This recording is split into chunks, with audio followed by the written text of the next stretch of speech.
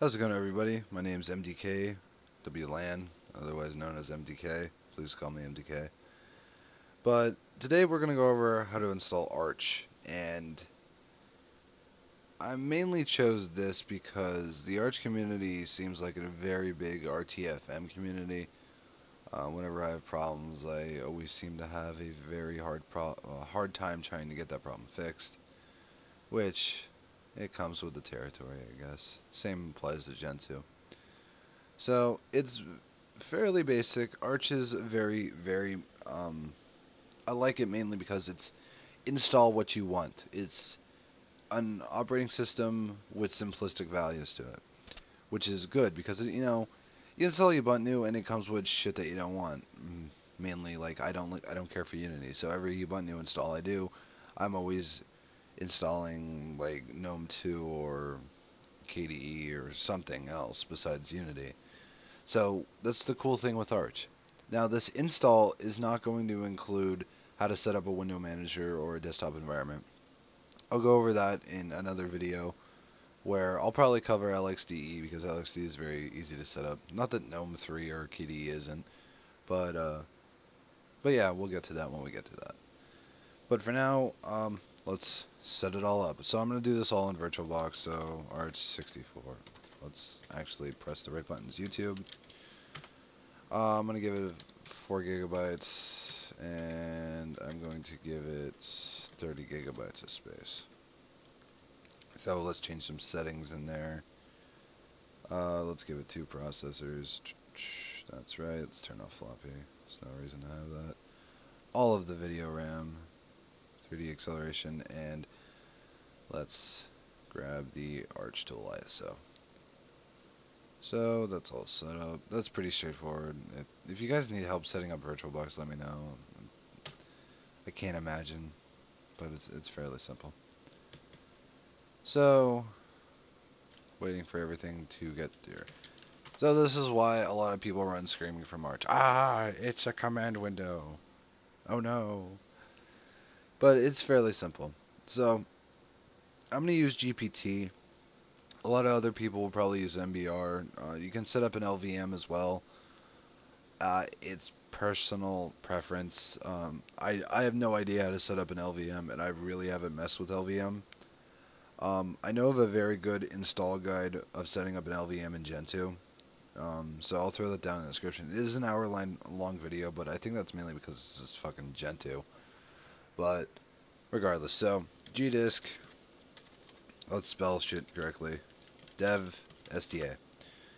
So you get this wonderful little window here. So you want to press N for a new one because you're setting up a new partition. First one, make sure it's on the last sector line, and we're going to set up a 250 megabyte one.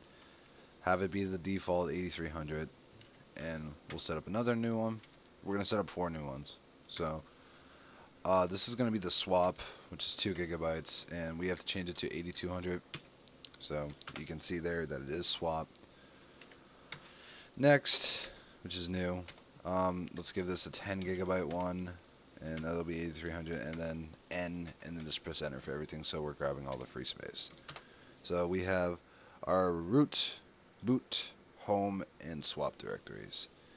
So press W to write that, and obviously agree to it. And that's wonderful.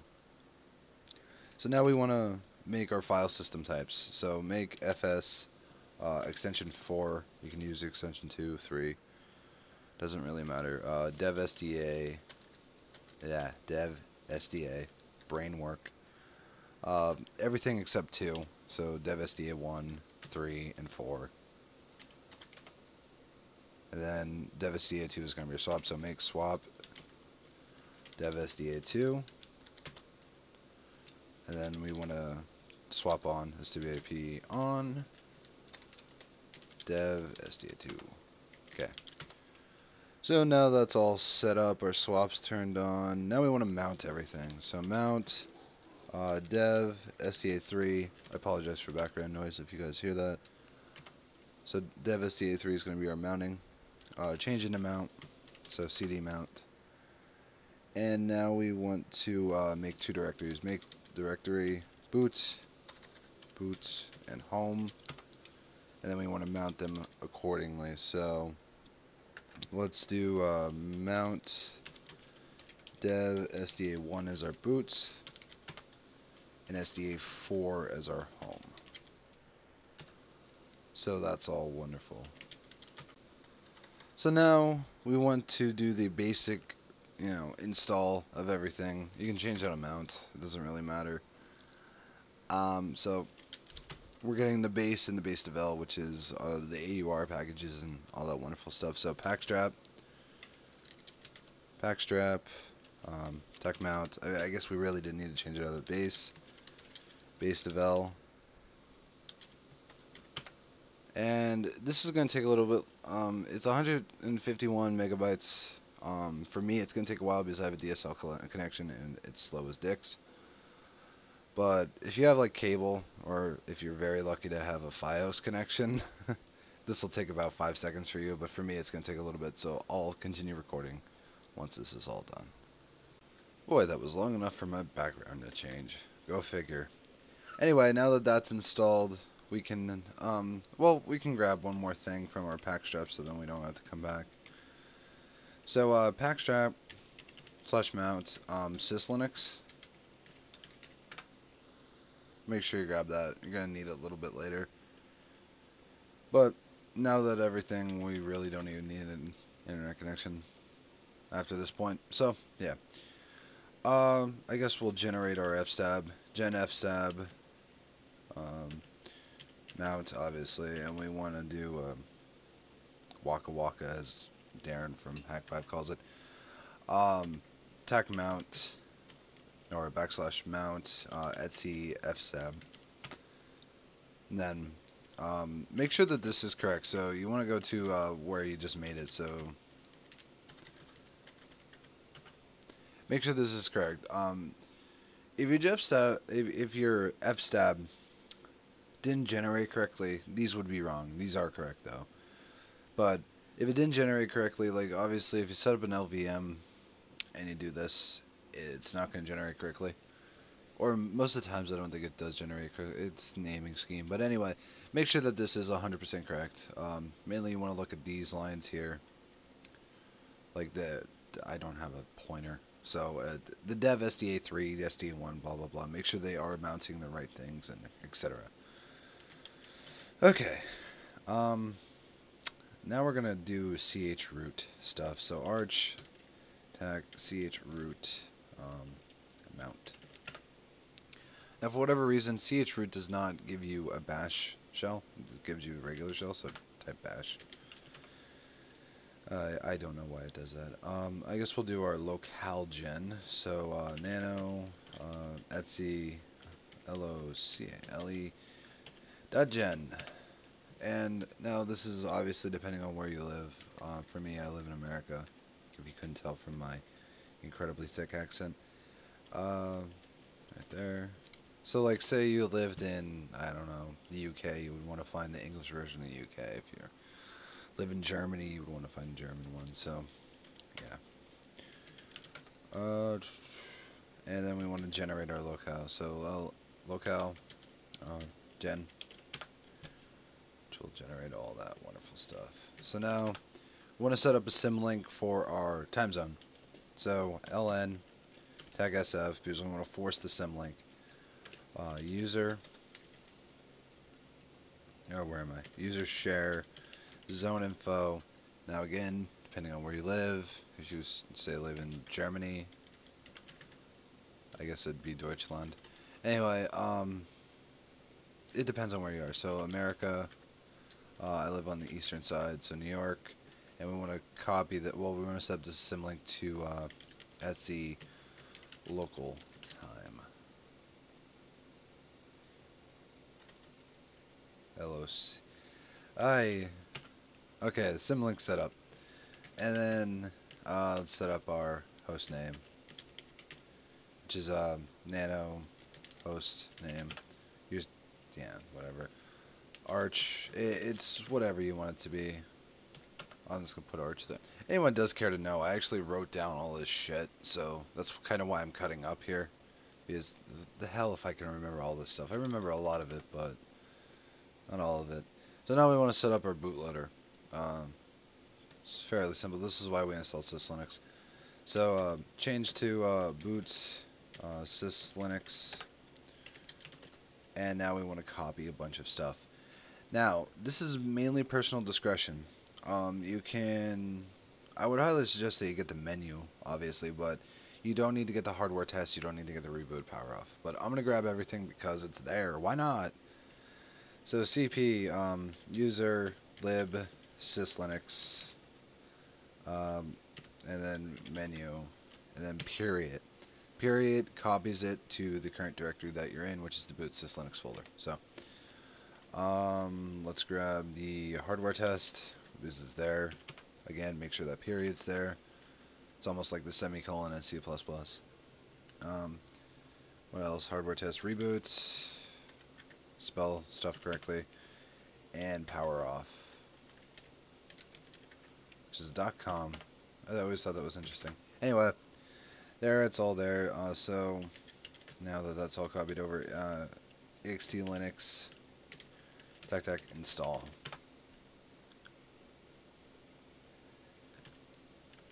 That period. I was like, why? That's not what's supposed to happen. Yeah.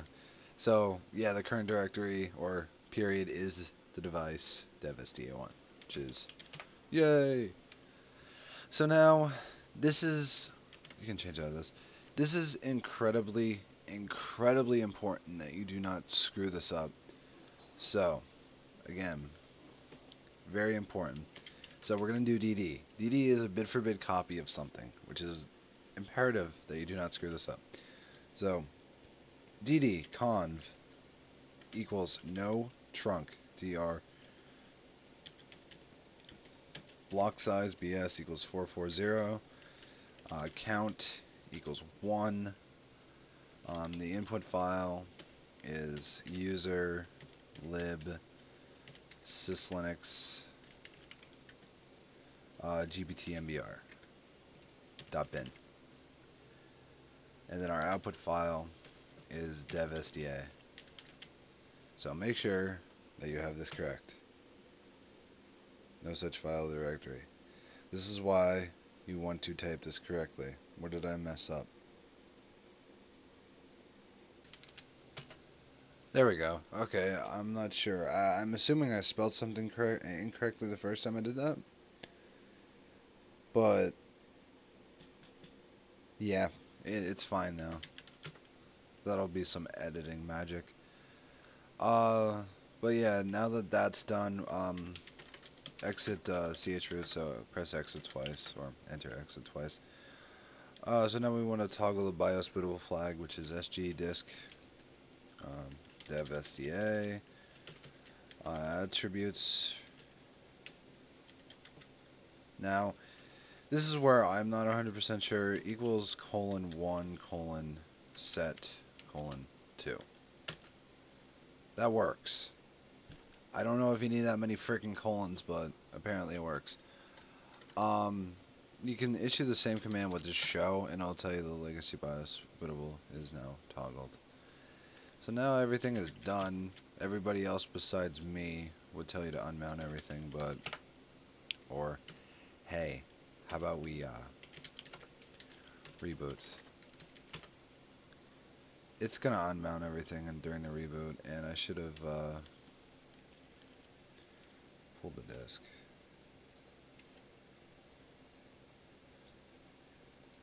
there we go there you got your menu and hurrah Arch Linux is installed but you're not completely done yet because well for one you need to enter a password so do uh, passwd because you don't have a password. Let's try that again. There we go. Okay. Problem with this is for me, I don't get an internet connection. So that's all wonderful and stuff.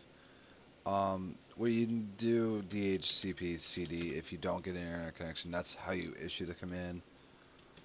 Um, but yeah, it's wonderful. But if you want to have an internet connection every time you start up without having to issue a damn command, um, you need to type this in. So I'm going to reboot here. Show you that it doesn't want to work. And then you get this weird graphic glitch, which I think is just associated with uh, VirtualBox and not really so much associated with Arch itself. So, like, if I do this, see, unable to ping. So, um, because systemd is there now, you can just type to uh, system control uh, enable DHCP CD at and then whatever port you're using. So it could be ETH1, ETH0. So now the symlink is set up and we'll reboot one more time.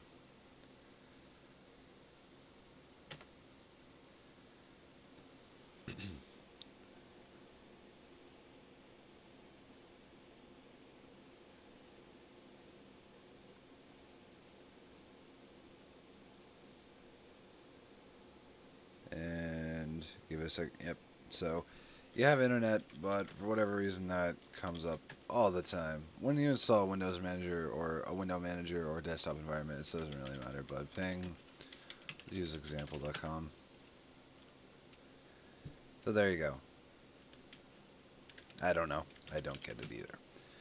So there you go. Arch is finally installed. Apart from the little mess up at the end there with some editing magic, I'm sure. Uh, it all went pretty well. So hopefully this was helpful in one way or another. But yeah, have a good one, guys. Uh, if you guys have any suggestions for videos or anything that you guys need help with, please comment or check out the subreddit of Linux for Noobs. I will always advocate that. But, alright, sorry there, the editing didn't, perhaps didn't capture what I was saying. Uh, if you have any questions, uh, please don't hesitate to ask. Uh, to ask. I'll, I'll try to answer them to the best of my ability, and if I don't know the answer, I'll try to point you in the right direction to find the answer. Uh, granted, some of the some of the problems that you guys have, um, I'm not like this magical wizard that knows everything when it comes to Linux. So please don't hesitate to ask. If I can't help you, I will. If I can't, I'll try to point you where I can.